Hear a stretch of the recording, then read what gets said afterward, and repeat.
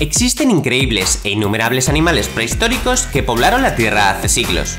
Sabemos que la lucha por la supervivencia no fue fácil, y la ferocidad de cada uno de ellos era clave en ese aspecto.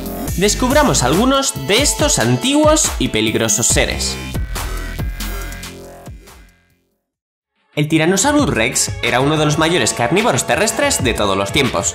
Medían hasta 43 pies de largo y 16 pies de alto, con una masa estimada de 7 toneladas. Al igual que otros tiranosáuridos, el Tyrannosaurus rex era carnívoro, bípedo, con un cráneo masivo, equilibrado por una larga y pesada cola. En relación con las patas traseras grandes y potentes, las extremidades anteriores eran pequeñas y conservaban solo dos dígitos. Los fósiles de T-Rex se han encontrado en las formaciones rocosas de América del Norte que datan de los últimos 3 millones de años del periodo Cretáceo, esto aproximadamente de 68 a 65 millones de años. Fue uno de los últimos dinosaurios que existieron antes de la extinción masiva. El término dientes de sable es un término genérico que se utiliza para describir a numerosas especies de mamíferos dotados de enormes caninos que vivieron durante épocas diferentes del Cenozoico. En este caso hablaremos del esmilodón. El atributo más espectacular y evidente son los inmensos caninos superiores. Aunque el consenso general, de acuerdo a su dentadura, es que se usaban para cazar denotando a ello una alimentación carnívora, la forma exacta que usaban ha sido motivo de debate desde la década de 1880, cuando el esmilodón fue descrito por primera vez.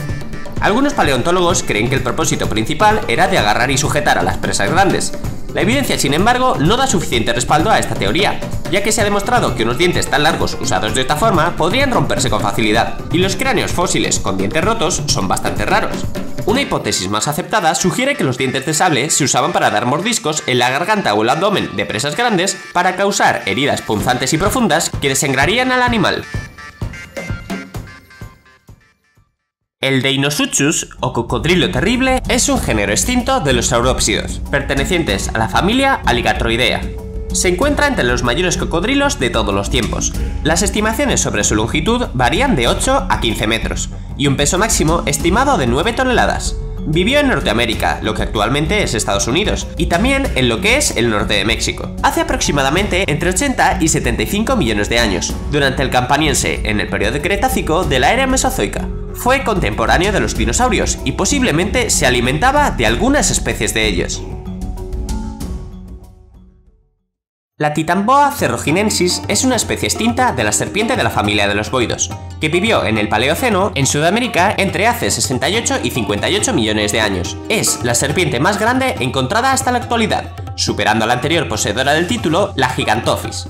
A través de un estudio comparado de sus vértebras, se estima que la serpiente medía entre 13 metros de longitud y tenía un peso aproximado de 1135 kilos. En Cerrejón también fueron hallados esqueletos de tortugas gigantes y de cocodrilos, que pudieron ser devorados por esta enorme serpiente.